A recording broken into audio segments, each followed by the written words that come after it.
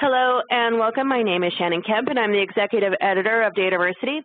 We'd like to thank you for attending Enterprise Data Governance Online, the first ever virtual conference produced by Dataversity. We're very excited to kick off the 2016 year with this new event and have a great lineup of sessions for you today. And of course, a special thanks to all of our sponsors who have helped make it all happen. Just a couple of points to get us started. Due to the large number of people that attend these sessions, you will be muted during the event. For questions, use, please use the the group chat. If you like to tweet, we encourage you to share highlights or questions via Twitter using hashtag EDGO. Slides and recordings of these presentations will be made available to all registrants following the event. Now let me introduce to you our second speaker for today, Kelle O'Neal, who will be discussing leveraging a data governance framework for operational success. To give you a brief background, Kelle is the founder and CEO at First San Francisco Partners, having worked with the software and systems provider key to the formulation of master master data management.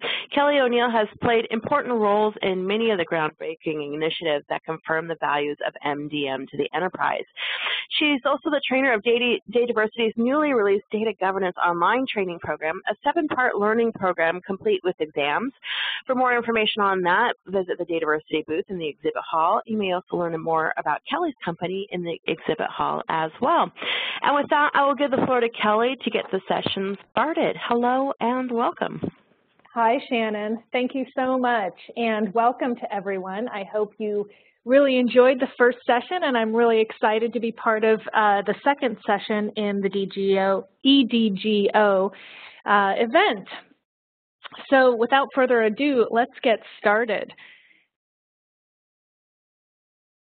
Okay, so what's the goal of this session? Well, what we're going to do is really just talk about and understand how to best implement and sustain, that's a very important word, uh, data governance using a data governance framework as a tool.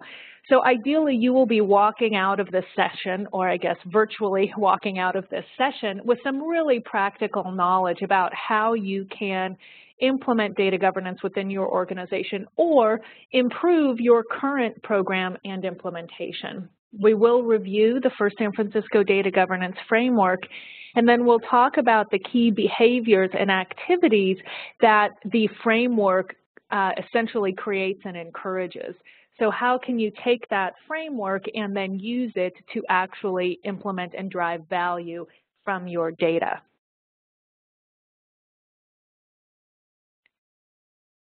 First San Francisco defines data governance as an organizing framework for establishing strategies, objectives, and policies to ensure that your data is available, accurate, sustainable, consistent, has integrity, is auditable, et cetera, et cetera.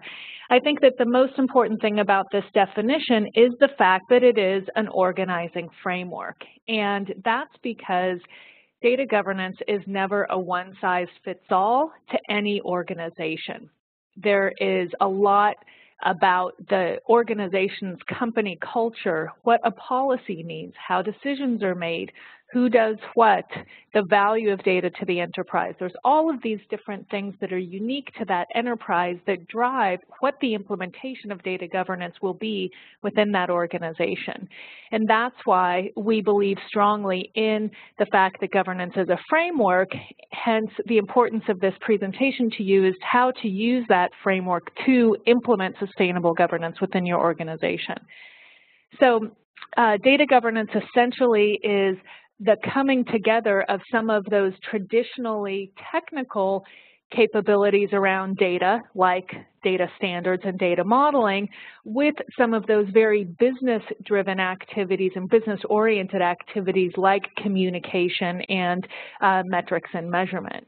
And because data governance pulls together the enterprise and different sides of the house, if you will, so from uh, the business side and the IT side, as well as sometimes multiple divisions, multiple functional groups within the organization, it is a great platform for decision making. And so it really ensures that the right people are at the table to make decisions around that important shared asset called data.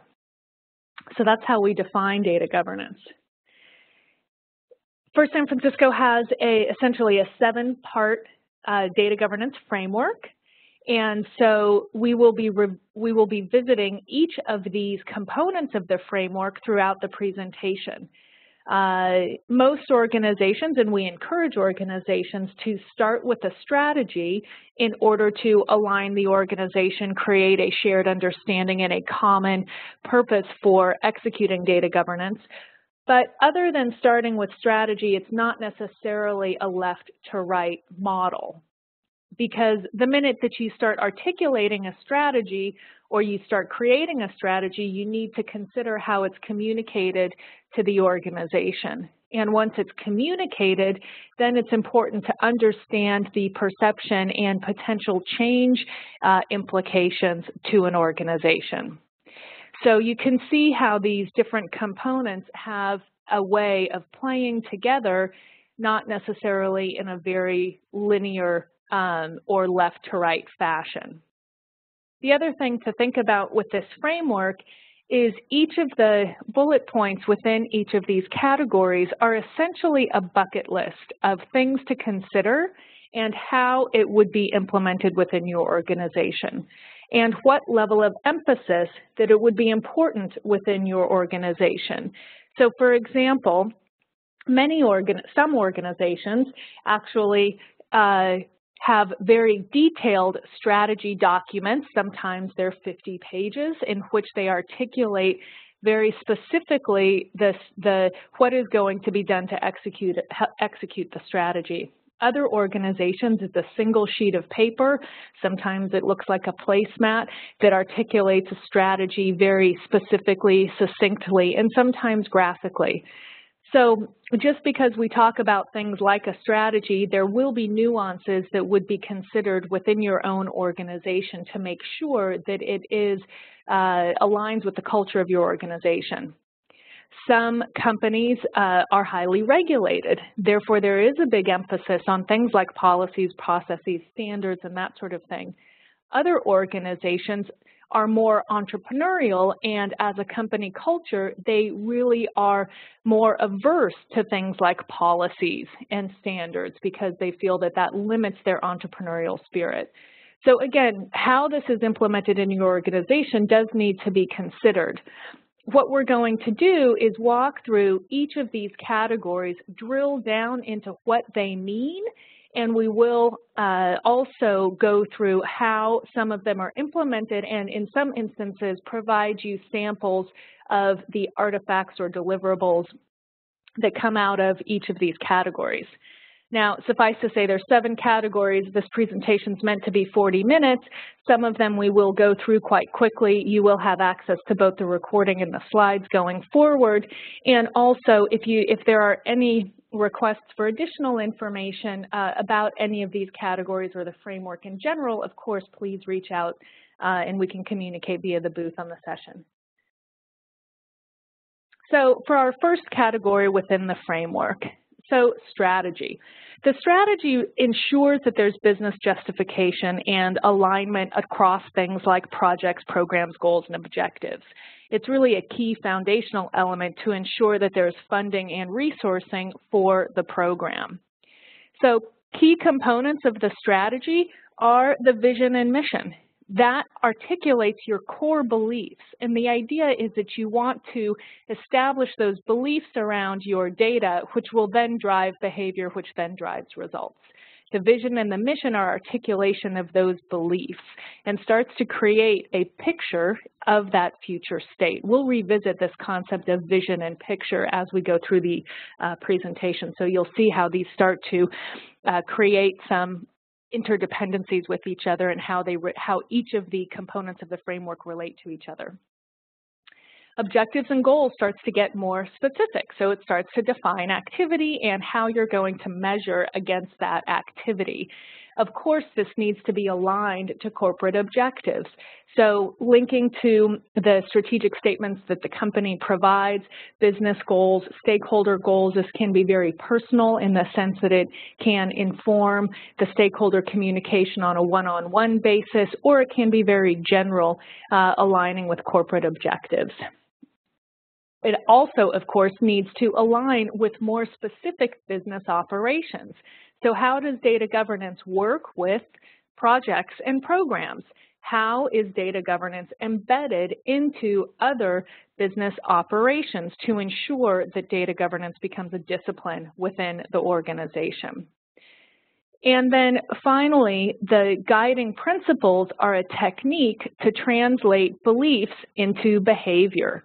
And ultimately, the behavior that you want to encourage with data governance uh, is done through policies, processes, and standards. It's done through the organization, et cetera. So these guiding principles help to drive some of the other components of the framework. Now, some of the statements around alignment, there's multiple ways in which you can align your strategy in the sense that you can align your vision, mission, and guiding principles to those that are explicitly stated within your own organization.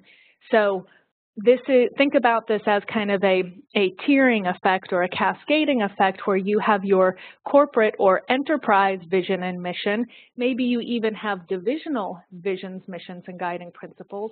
And those for data governance should align to your divisions and to the enterprise as appropriate so that there can be this line of sight, if you will, between what the data governance program does and how it impacts the organization. So that alignment can occur in multiple ways.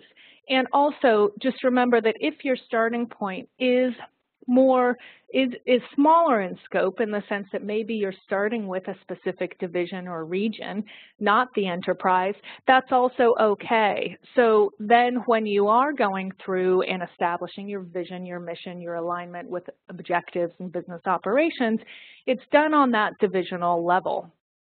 Always remember, however, that you have an enterprise to consider. So anyway, the strategy needs to work within the scope of your organization.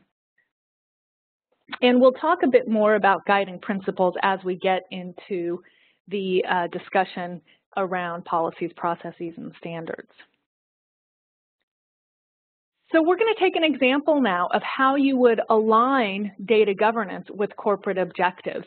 We're not going to go into each of these categories, uh, so just suffice to say that this would be a, a, standard statement of corporate objectives where there's a focus on the client, a focus on core capabilities, um, articulation around the importance of uh, tactical execution, maintenance of the brand, uh, enforcement of the people, or sorry, uh, endorsement of the people, and support of the people. So just keep these categories in mind as we go through this next example. What we want to do is we want to take your vision, take your mission, and discuss how it drives those corporate objectives. So here we just have an example. Again, we're trying to make this really practical and usable for you. So in this instance, the vision talks about best-in-class client and account data capability that facilitates strategic objectives, positive impact, and management of risk. So it's linking those corporate objectives from the very beginning and from the articulation of that vision statement. From a mission perspective, then you go to that next level of detail in the sense of in order to execute the vision, we are going to create a culture that recognizes data as a corporate asset. So it gets a little bit more practical and tactical, whereas the vision statement is very lofty. And then we want to get specific into how it actually drives and facilitates and, and supports those corporate objectives. So uh, if we just take the first one as an example, data governance uh, improves and uh, uh aligns with client satisfaction because through improved speed to delivery on products, address change processing, online account management, et cetera, it is easier for our company to do business with clients and partners, which therefore drives client satisfaction. So again, what we want to do is take these concepts that are specific to data governance and link them directly through these stated uh, ties to the different business objectives. And you can go through each of these uh, on your own if you'd like to. Now we want to look at what uh, is a technique called business information requirements. This is another technique to start aligning your output of data governance to the goals and requirements of the enterprise.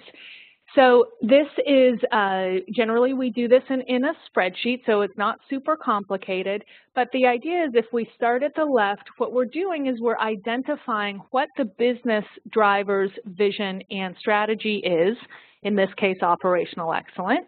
excellence. There's an enterprise strategy that's stated around commitment to operational excellence, effectiveness of the organization, execution, um, uh, in terms of day-to-day -day efficiency and day-to-day -day responsibilities. And then you go through priorities, goals, objectives, outcomes, et cetera. And the idea here is that you want to identify how data governance and maybe some of the other aspects of data governance like metadata facilitate those vision, strategy, priorities, goals, et cetera. We call those levers. And those are the levers in which the organization and the data governance program specifically supports the delivery of the other corporate goals, objectives, uh, and priorities. So this is just another example of how you can articulate the way that your data program, your metadata program, or your data governance program will facilitate um, your business uh, objectives and drivers. So uh, the important point here is that these levers or these aspects of managing your data need to be very clearly articulated and linked to that goal or, or objective. So we want to make that statement very clear. So when you're writing these, think of filling in the blank for this statement. We will use data to blank, thereby enabling some specific business action.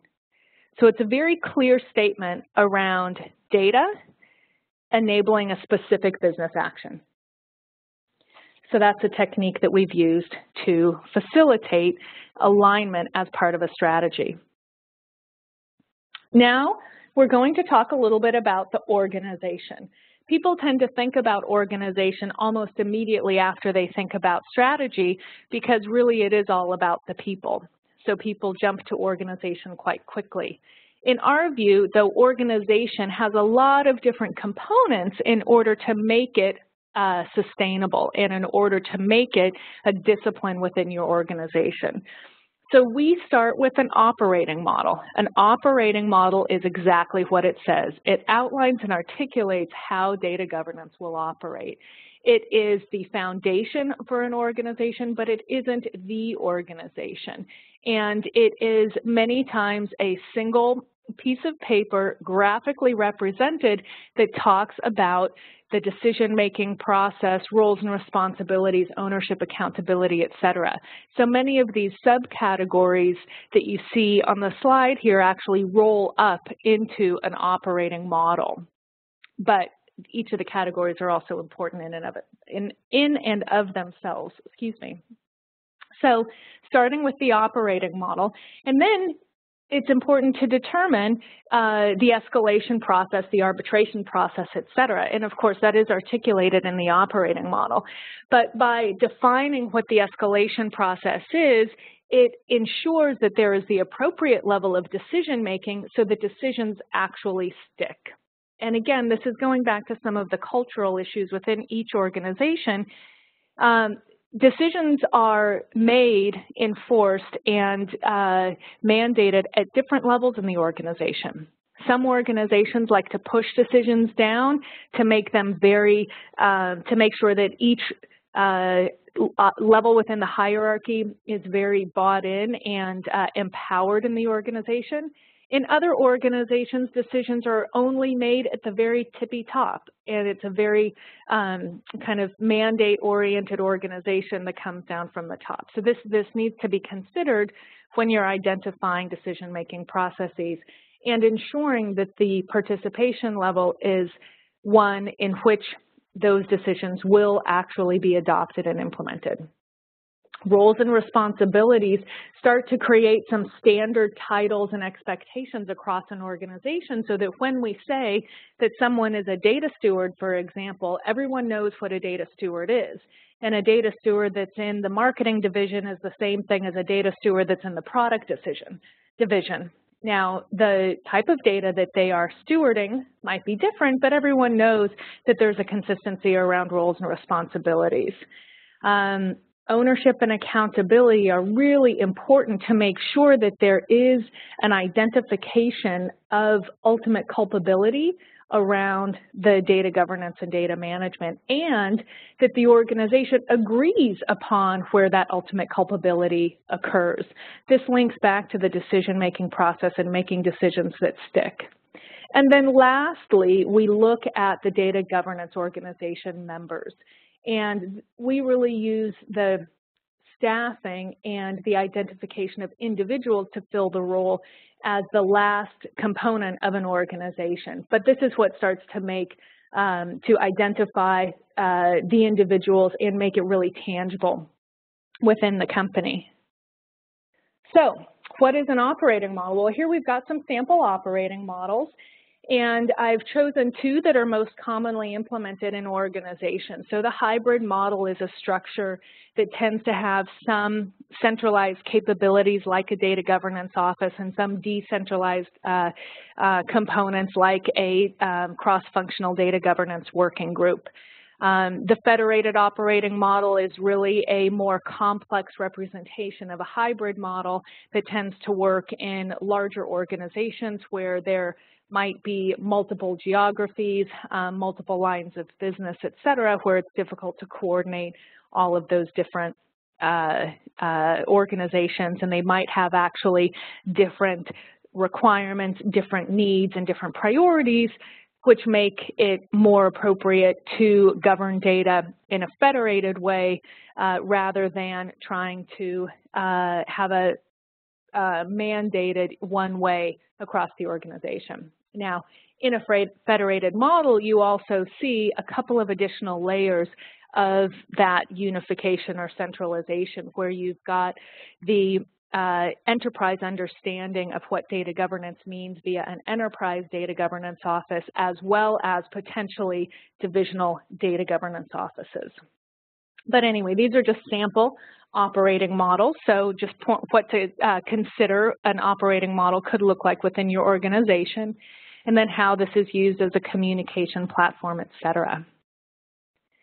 Now, another thing I wanted to talk about as part of the organization is how you establish ownership and accountability, and many times RACIs are great tools to do this. So here's an example of an actual deliverable or an artifact called a RACI. And so many of you might use RACIs within your organization to define other sorts of roles and responsibilities uh, or accountability. But really, the purpose of a RACI is to make sure that there's clarity around roles and responsibilities at a detailed level and ensure that the proper people are involved in activities or decision making. Uh, again, it's a way of documenting the way that decisions are made so that everybody agrees upon who makes those decisions and therefore the decisions actually stick. Um, one of the really important things about a RACI is that we want to minimize finger pointing. So this is the reason that we put together a RACI is we don't want to be the poor guy in the middle where everyone points at data governance and says, look, it's governance responsibility or it's governance fault. So we want to make sure that uh, different participants in our governance ecosystem participate in decision-making processes so that it is truly cross-functional and people really do agree with decisions that are made and reduces finger pointing. So next we're going to talk about policies, processes, and standards. So policies, processes, and standards are kind of the stuff that comes out of data governance. Many times people consider data governance to be policies, processes, and standards.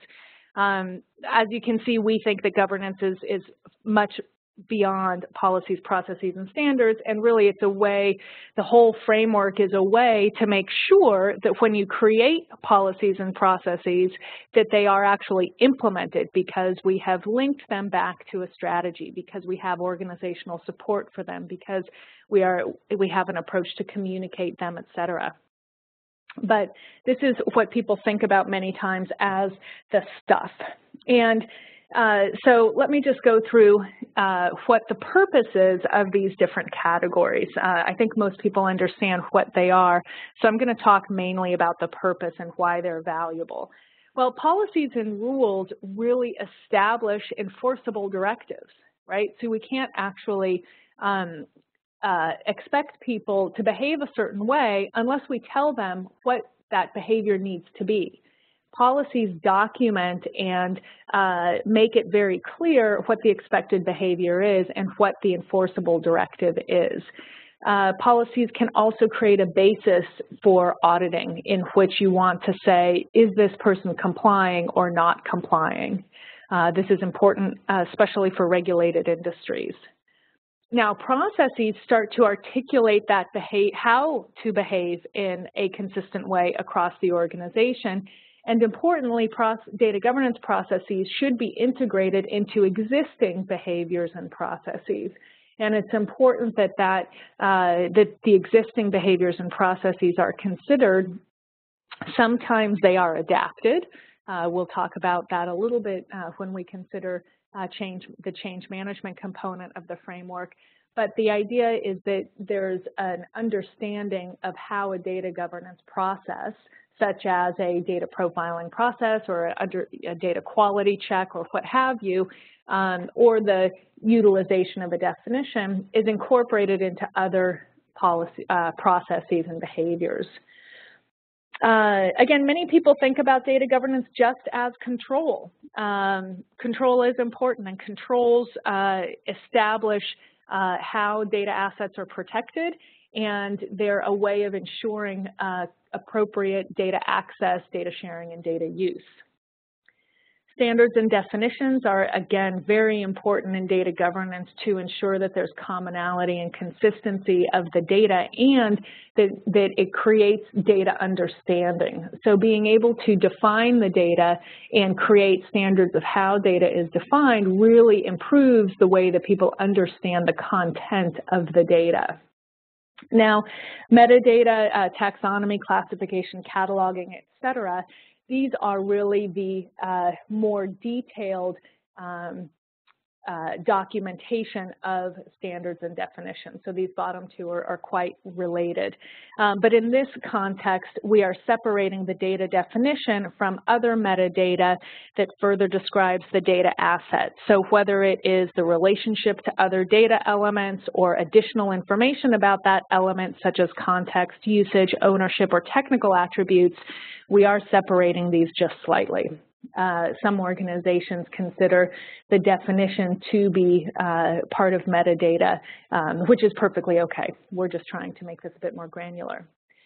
But the definition of the metadata and the classification starts to support the way that you want to measure and audit your data because you've got the additional context, you've got the definition of ownership, you've got a bit more understanding of how that data is created and should be used across an organization.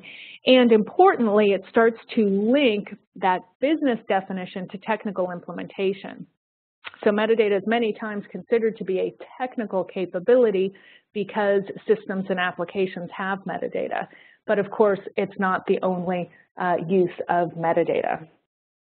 So let's look at how some of this is done and a couple of examples. So remember I said that we were going to talk about guiding principles again when we talk about policies, processes, and standards. So here, this is why we bring in the discussion around principles. Because when we develop policies, processes, and standards, we start with principles. And the reason is, is that principles are that statement of shared organizational belief and policies codify principles into very specific statements, guidelines, and rules. So you need to have agreement upon the principles before you start to jump into policies. Standards are the next level of detail that create specificity and controls uh, to uh, ensure that those policies are applied to different data categories and data elements. Uh, some organizations have a single high-level policy and all of the other rules and guidelines are considered to be standards. Some organizations have multiple policies that follow the life cycle of the data. So again, back to cultural norms within your organization, uh, organizations do this differently and, and that's perfectly okay. And then, of course, the processes tend to be activity-driven, talk about how you implement the policies and standards, and then the next phase after processes are things like procedures, and those are very uh, tool-specific. But anyway, this is how we would go through the creation of policies, processes, and standards. So in the spirit of giving you a couple of examples, I'd like to give you an example of a policy. This is a high-level data governance policy that was created uh, that is um, the single policy that drives the implementation of governance across the enterprise. Um, this might be very simplistic to some organizations. Uh, I've seen other organizations where a single policy is, you know, a dozen pages or more. Um, but this is what worked for this organization. It followed their policy template. It was very clear in terms of what the policy is, the scope, the participation, and then also uh, what are the roles and responsibilities that implement the policy, uh, how do we report it, how do we measure it, and then also, how do we govern the policy? So the category at the second to the bottom row talks about the review and renewal period.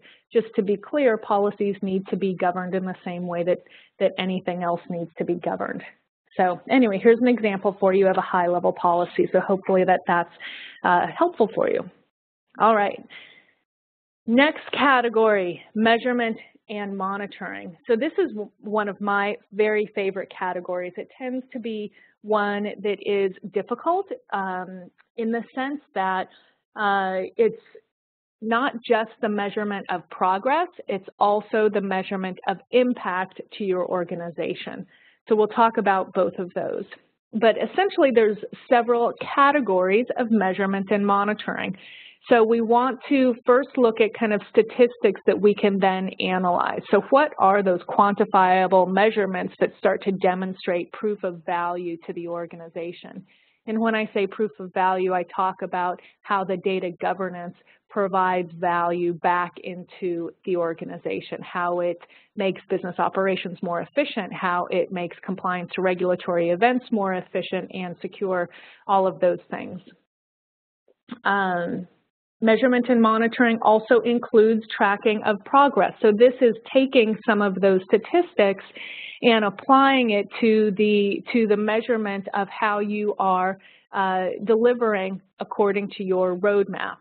Now, we all know that roadmaps are meant to be changed, but the idea is that you are tracking along a plan that uh, is uh, articulated and people agreed upon the progress. So you need to be able to track that progress, articulate that progress, and also identify what resources do you need in order to uh, continue to make progress.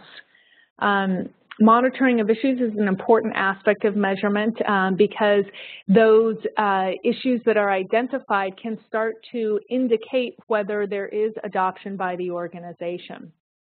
So this is something where if you create an, an issue management process or a case management process, as some organizations call it, and they can, and the data governance organization starts to uh, receive data issues or uh, requests for data changes, et cetera, many times the monitoring of issues, it identifies a huge influx of issues in the early days of the governance program. Um, and the more issues you're getting is actually quite a positive thing. So, so the quantity of issues isn't necessarily the indication of um, importance, but it shows adoption by the organization. And depending upon the types of issues that are identified, it actually can inform whether your standards are really effective. Are people understanding the standards? Um, are people utilizing the standards? Are the standards improving the data such that issue uh, identification is dropping. Um, of course, there should be an aspect of continuous improvement so that this is, you, this is a constantly improving process. And then scorecarding and dashboarding is a way to maintain uh, measurement of the program itself and to start to identify uh, what is the value we're providing back to the organization uh, as we have articulated it based on our business case or our justification. So this is where we're starting to share and uh, show the impact, not just the progress, back to the organization. So here I'm going to talk about a process to establish metrics. And the metrics that we're focusing on here are the uh, impact metrics. So progress metrics are pretty easy in the sense that progress metrics are just measuring back to the execution of your roadmap. But the idea around impact metrics is that you're focusing on uh, addressing business issues and challenges and that you are focusing what you're measuring based on the problems that you're trying to solve. So the way that we do this here is we actually start with that business challenge and then create the measurement and metrics that address the business need. And sometimes this process will help to inform the progress metrics that you are measuring. One of the challenges of progress metrics and governance is that there's so many things that you can measure. This process helps you to identify those metrics and KPIs that are important to solving and addressing that business need. So the way that we go through this process is to start with the issue or the business need. And the point is to clarify the issue. What is meant by the issue? Um, why is that issue important? Um, what is the change that you would like to see? So then we start to move into the goals.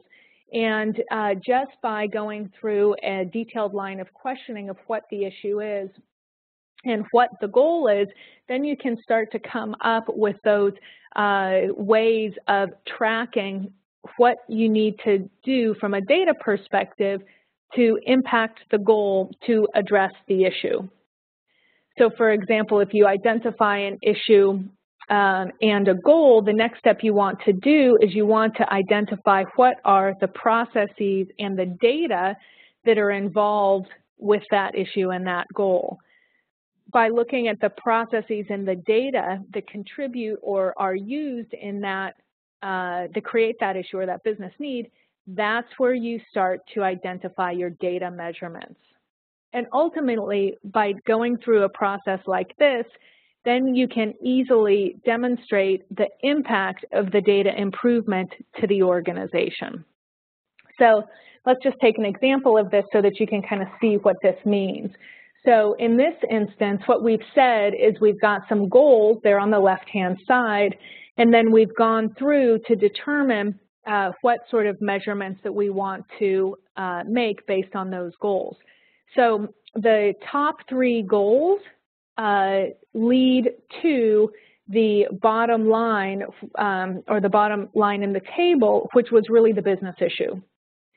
So the business issue was increasing report quality and accuracy. The goals or the change that they would like to see was improved data understanding, improved data transparency, and reducing manual uh, remediation. And essentially what you want to do is be able to identify those measurements, those targets and frequencies, which are the data changes that you need in order to really uh, demonstrate an indication of performance improvement and performance impact. So the KPI and the ability to, to uh, improve report quality and accuracy by providing uh, better transparency, understanding, and a more efficient data remediation process is really the message that you want to provide back to your organization. So there's an example from a metrics and, and measurement perspective. Okay, so just a couple more categories left, uh, actually three more categories left. We're going to talk a bit about how technology is used within a data governance program. And the way that we consider technology is that technology really provides the automation, efficiency, and measurement capabilities to support policies, processes, and standards. So the idea is that you can govern your data and the, the role of governance is to create the policies, processes, and standards, and technology are great tools for facilitating easier implementation of those capabilities. And in this context, we'll be calling out the technical uh, implementation of concepts that we introduced elsewhere, such as metadata. So you'll see metadata represented here and represented in the policies, processes, and standards because here we're talking about metadata as a tool to create a tech, uh, repository for that metadata. And, you know, there's a belief in the governance community that these tools will progress in such a way that once they're set up using those standards and, and um, processes that have been determined, then governance will be automated and noncompliance to governance rules will be virtually impossible and will be so well audited that the enforcement of governance is very easy. Okay, so quickly, what are the categories of technology that are primarily supporting governance? Well, you have collaboration and knowledge management tools, and these really assist in involvement, participation, and consistency across an organization. So having a place where all of the data governance uh, um, artifacts and uh, definitions and policies and participation and all of that are in a single place, it really facilitates the adoption of those uh, stated policies and processes and, and uh, roles and responsibilities. Now, data mastering and sharing, so this is the concept of master data management as well as some data integration. And the idea is that you want to leverage technology to ensure data consistency across the enterprise. And it's a way of implementing those business rules that establish the requirements for data accuracy and data movement. Um, data architecture, security, and lifecycle management are really core capabilities that create a secure, robust, and consistent foundation for the data and of course support the complete data lifecycle including uh, data retention in a disaster recovery sort of infrastructure. Now data quality and work and stewardship workflow are those user interfaces that are uh, uh, leveraged to facilitate the stewardship activity. Many times these are data quality capabilities. So the steward has a an actual tool to measure the quantifiable dimensions that are identified to ensure trusted data. So it really helps with efficiency and productivity to have workflow, to have tools that can measure data quality uh, efficiently. And lastly, in metadata management, by having a repository really reinforces those definitions and standards and can uh, really uh, improve that enterprise cohesion that you're trying to create uh, through the program in and of itself. So let's just take a quick example of what a technology structure uh, would look like with, um, the, with governance. So this is a master data management services framework that we use to define what are all of the capabilities uh, within master data management. And the idea is that governance provides the shared cross-functional uh, participation to make the decisions about how these services are implemented uh, in order to address the business requirements. And you can see that in this definition, there it calls out other sorts of capabilities like data quality, security, metadata management, et cetera. But the idea is that governance provides the input, the business requirements, and the business rules to make that technology provide the efficiency and the automation uh, to support the data governance program. So two more categories that are both tightly related. So the first one we're going to talk about is communication. And communication is something where it really does um, uh, impact this next cat, the next category, which is our final category called change management. And communication to us is not just uh, the one-on-one -on -one communication or meetings. Uh, it is also incorporates the training strategy. So a communication plan is really an effective way to document what you're trying to do from a communication perspective, and then uh, that training plan helps to make that a bit more specific to each of the organizations. So sometimes communication is thought of as awareness and orientation, um, but really that is also part of the training strategy. So the idea is that you want to be able to articulate to the organization, to the enterprise. Vehicles and mechanisms are really just the way that you want to delineate the techniques used to communicate. So these are things like newsletters, um, these are things, you know, you would call out things like meetings or what have you, but we want to be able to incorporate creative techniques such as using video and other sorts of interactive capabilities uh, to make it much uh, more real for the uh, recipient so that you're not just emailing things out. And of course, we need to create reusable content and identify accountability for the different aspects of communication. Um, communication is a really big category, so if you don't reuse that content, uh, it can be very daunting in terms of the amount of work that is done. So this is a communication framework that we have used uh, to help support change management. So it's really an approach that brings together many aspects of the data governance framework. So you can see it starts with a statement of a vision and a purpose, which would be covered within the strategy, strategy category of the data governance framework and it all it goes all the way through to participation which is also something that is called out in the organization category of the framework. But the idea is that you want to create and articulate what is the desired future state. So what is the value of that future state to the company? This is the vision. This is a statement of a strategic goal and the why. So what is it and what's the why? That's the purpose. And the picture is really just that. It's a picture of what the future will be like once data governance and data management is implemented. The plan is the how, and then of course the participation is the who, and what is each person's role within that plan. The idea is this starts to make it very tangible to the organization so that they don't just know the vision, but they know how they participate in the plan to create the future state. This is something that was adapted um, from a very uh, valuable change management approach um, by William Bridges. So that takes us into change management. And this is going to be our last category. Um, I feel bad at being the last because it's also one of the most important. So a few components of change management.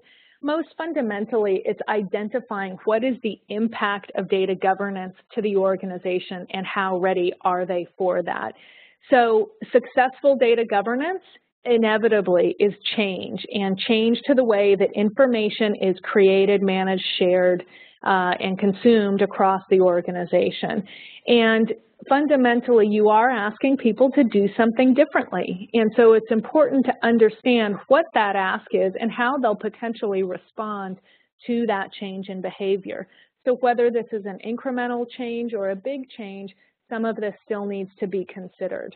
Leadership alignment is formally uh, identifying what the sponsorship role is and how they need to be supporting the organization. Stakeholder management is a similar sort of process, but with a broader group of stakeholders in the organization. And really the stakeholder management plan assists in promoting uh, the internalization of the value of the data governance program. Couple of things to make it very specific. There should be a change plan with very clear and practical tools and checklists to make sure that this plan is actually delivered upon. And then fundamentally over time, all of this should be transitioned to just a sustainable discipline. So the idea is that change management is helping people through a, a shift, but it is ultimately to uh, transition to the business as uh, business as usual and an ongoing discipline. So there's two sides to change management. The one that we're all very comfortable with is the situational. So what are we doing? Why are we doing? When are we doing it? What's the process? What's the rule? Give me the policy, etc. But then there's the psychological side, which is the response that people have as they're being told to do something new. And this is the most difficult part of change management. So in order to make it successful, both of these need to be addressed. And as data professionals, we tend to be very linear, which is something that uh, falls nicely into the situational change, but the psychological change, sometimes we feel as much more, you know, airy-fairy, but the reality is, is people will respond how they will respond. And if we deny that there may be some resistance or a psychological impact, then we're not going to be successful. So considering we're all very linear thinkers, um, not all of us, so sorry, that's a gross generalization, but we tend to be more linear thinkers. We're very practical. Well, here is a very practical way to put together your change management plan as it aligns to data governance phases. So the idea here is that you're doing this proactively, you're doing it um, purposefully, and you're recognizing that this is a important aspect of sustainability. So for some final considerations here, um, we want to make sure that we are being very clear on what we're trying to accomplish so that it is aligned specifically to the goals and objectives of the organization. So we want to be consistent. We want to enable people to think about the enterprise, so to think globally, but also to act locally. We want to make sure that it's simple enough that people are actually accepting and using the guidelines that we're providing and the tools that we're providing through data governance. Um, many times using that alignment process can help to uh, encourage people to use um, the data governance program, tools, artifacts, et cetera.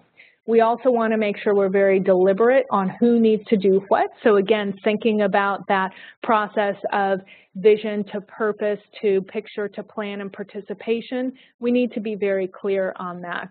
And lastly, it's important to communicate. Communicate, communicate, communicate, because that's really what ties this all together and creates an effective uh, change. So with that, I'm going to wrap it up and turn it back to you, Shannon. Thank you.